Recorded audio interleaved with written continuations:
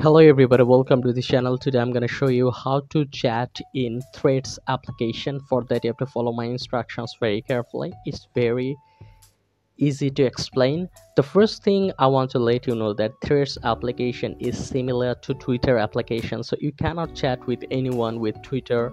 That's like the same case here. You cannot actually chat directly with anyone in threads application.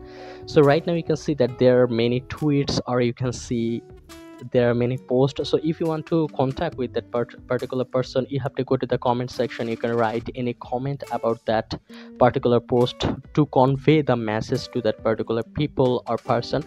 After that you can see a double arrow button. You can tap on it and you can repost it or quote it. That's how you can communicate it. And this application is 1.0 version so there will be many updates.